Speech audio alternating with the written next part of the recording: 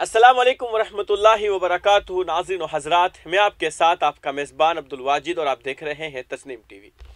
उत्तर प्रदेश के वज़ीर अला योगी आदित्यनाथ ने ईद मिलादुलनबी के मौके पर रियासत के लोगों को मुबारकबाद दी और उम्मीद ज़ाहिर की है कि यह त्यौहार माशरे में अमन और हम आहंगी को बढ़ाने के लिए नई तहरीक देगा।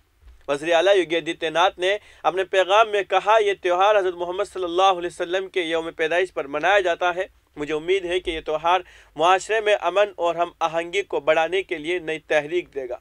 दूसरी जानब, आसाम के कुछ इलाकों में अमन और अमान के पेश नज़र जुलूसों और लाउड स्पीकर पर पाबंदी लगा दी गई है। यूपी के वज़ीर अला ने लोगों से अपील की है कि वो ईद मिलादुलनबी के मौके पर कोविड 19 इन्फेक्शन के पेश नज़र तमाम एहतियाती तदाबीर इख्तियार करते हुए एक प्रोग्राम का अहतमाम करें ईद मिलादुलनबी हज़रत मोहम्मद अलैहि वसल्लम के यौम विलादत के तौर पर मनाया जाता है।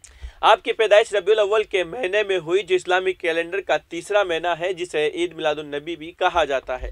दुनिया भर के मुसलमान जोश और खरोश से मनाते हैं। आसाम की हेमांता बिसो हुकूमत ने ईद मिलादुलनबी के मौके पर जुलूस निकालने और लाउड स्पीकर इस्तेमाल करने पर पाबंदी लगा दी है। इससे कबल तीन अजला की इंतज़ामिया ने जुलूस और लाउड स्पीकरों की इजाज़त दी थी, लेकिन हफ़्ते के रोज़ अमन और अमान की सूरत हाल के पेश नज़र हुक्म उलट दिया गया।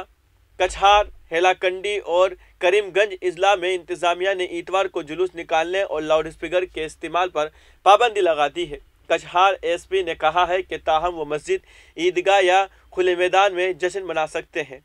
सदर द्रौपदी मुर्मू ने पैगंबर इस्लाम के यौम पैदाइश पर लोगों को मुबारकबाद दी। सदर मुर्मू ने अपने पैगाम में कहा कि ईद मिलादुलनबी के मौके पर पैगंबर हज़रत मोहम्मद सल्लल्लाहु अलैहि वसल्लम की यौम विलादत के मौके पर मैं तमाम लोगों खसूस मुसलमान भाइयों और बहनों को अपनी नए ख्वाहिशात पेश करती हूँ। सदर मुर्मू ने कहा कि उनका पैगाम हम सबको हम आहंगी और भाईचारे की राह पर आगे बढ़ने की तरगीब देता है।